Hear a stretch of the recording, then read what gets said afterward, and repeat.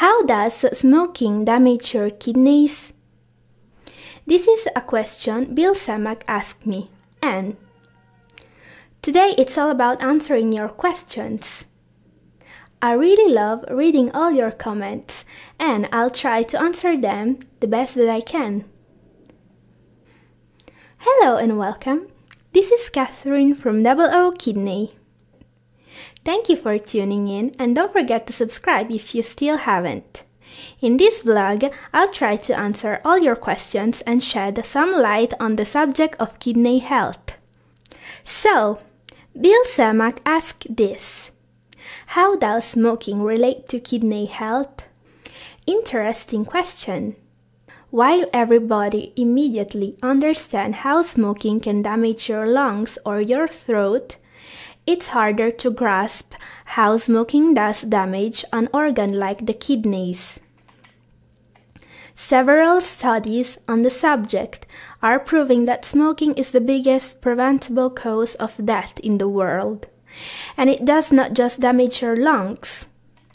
It can slow down the blood flow to several organs, including the kidneys, causing both short and long term damages. It also interacts with the prescription drugs used to treat high blood pressure and increase the risk of heart problems. All this can worsen or even cause kidney problems.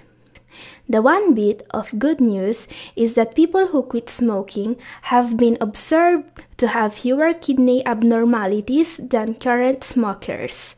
And this is just one more reason to quit smoking. A comment from William Penrose. Great video! I don't drink much water at all because it doesn't have any electrolytes and my salt levels are low so I don't get the water to bind and stay in my system. Two years ago, I started drinking two gallons of water a day and still continued to have kidney failure. I started drinking Pedialyte. And my kidneys literally started getting much better and are back to normal again. Thank God. Some of the supplements I take create creatinine as a byproduct, and I'd like to combat this before it becomes a problem. Do you feel me staying on Pedialyte will help keep my creatinine levels down? Thank you so much for reading all my posts and answering my questions. And great job on getting your kidney function back. That's awesome and a blessing. Oh. I'm really glad you recovered. But I think the last part of your comment was for Michael Wright and his recovery from chronic kidney disease. And I don't think Pedialyte is what made your kidneys recover or that it will be helpful at all.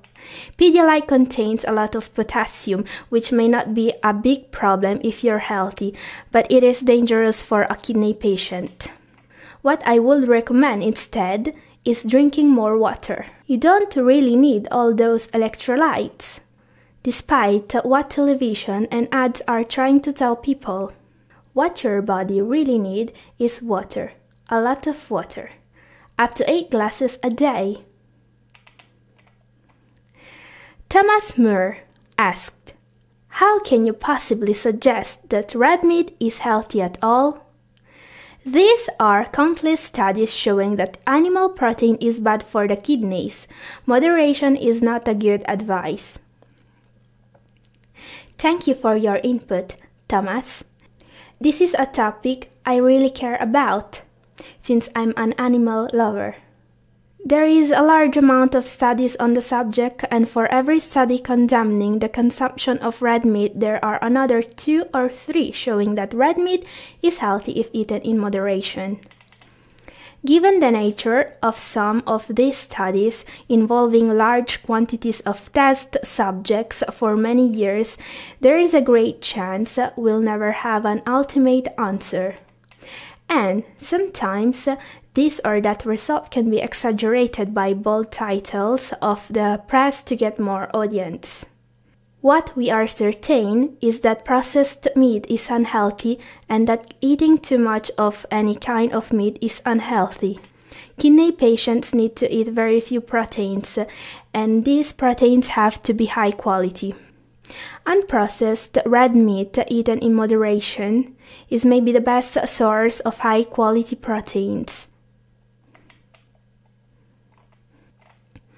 Our subscriber Mr. World Bang asked, My back hurts on one side, what do I do? When you're concerned about your health, you should seek immediate medical care from a professional in your area. In some cases, back pain is just muscular pain or skeletal pain, but there is a chance of kidney stones or kidney damage. Usually, you can tell if it's muscle pain when it's located in the lower back. It could be caused by common back injuries. If the problem arises from the kidneys, the pain is in a deeper location in the body and in a higher position. This is all for today. Stay healthy and don't forget to like and subscribe. Stay tuned for more videos. And thanks for all the great support we are receiving.